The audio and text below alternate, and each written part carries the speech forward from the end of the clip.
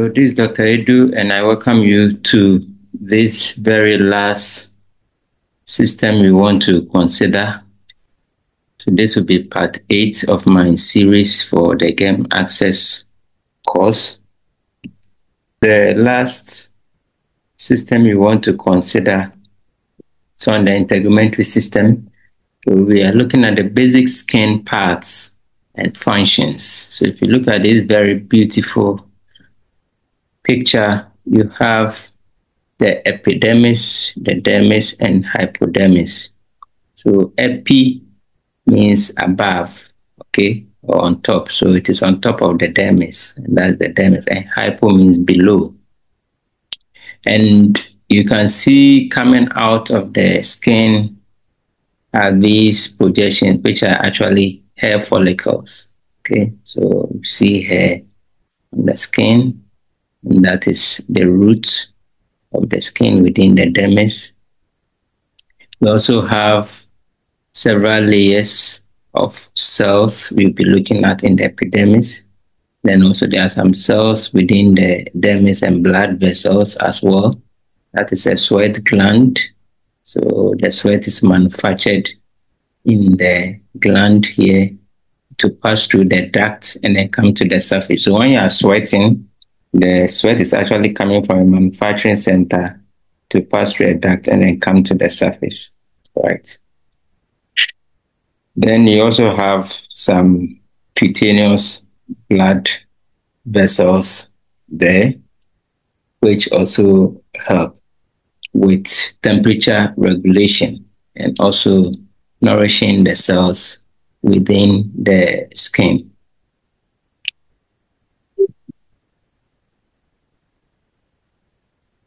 So for the skin and the pilosebaceous apparatus as we describe it, will be made up of the arrector pili muscle, which will be this as a muscle and it's connected to the hair.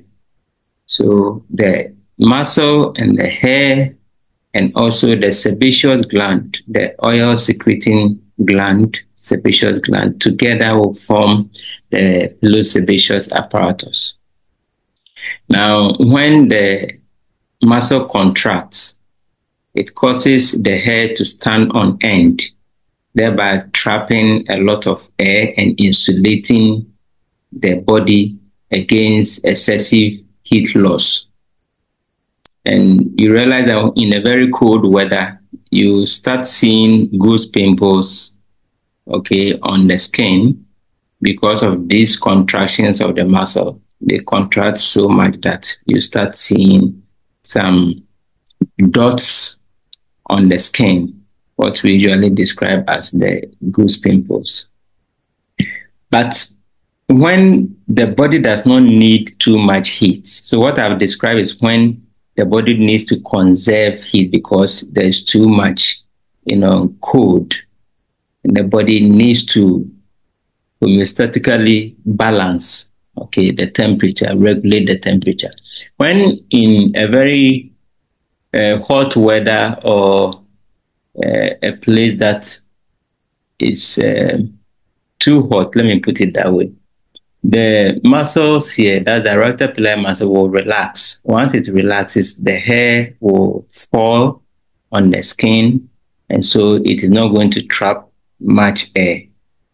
All right, so that air can easily blow on top of the skin and then allow the heat to what permeate heat within the system, especially in the blood vessel, because the blood vessels contain blood that is coming from within the body. So it, it has some warmth, okay? It is warmer.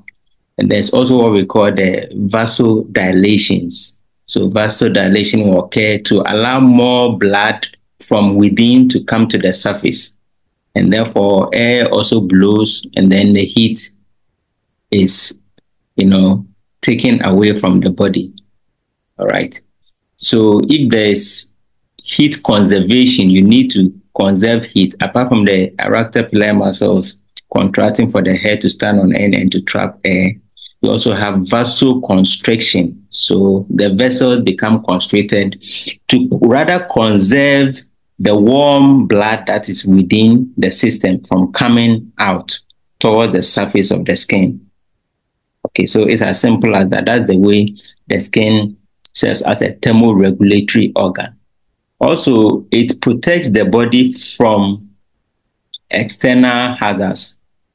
So you have um, it serves as a boundary against the microorganisms entering the, the body, also UV light and all that, mechanical abrasion and what have you. So we say that the skin has a coating called keratin to help protect the skin from abrasion and other, you know, uh, external forces.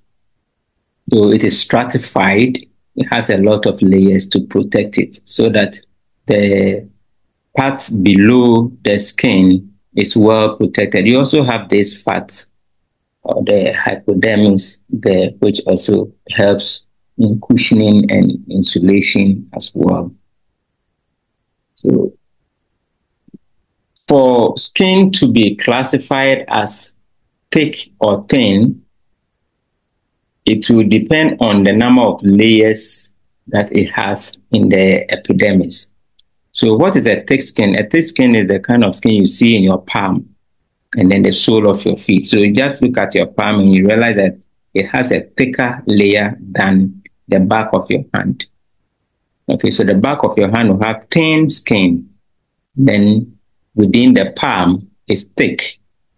And also the other parts of the skin, like the rest of the skin on your upper limb, lower limbs, your back, are all thin skins. So the thin skin will have these layers in the epidermis. So we are looking at just this epidermis and the layers. So you have on top of it, most superficial, the stratum corneum, which will contain a lot of keratin. Okay, dead cells. As you can see, these ones don't even have nuclei. So they will lose their nuclei. Then sometimes they are sloughed off and then replaced by cells that are coming from below. So from the stratum corneum, we go to stratum granulosum. Granulosum because it contains granules. Then you also have the stratum spinosum. Also spinosum because it looks like spines. Then you have the stratum basale because it is at the base, and that is the regenerative capacity of the skin is able to mitotically you know, produce new cells that will move to the top. The stratum spinosum also has some ability to divide. Then you have cells within the epidermis like the Langerhans cells.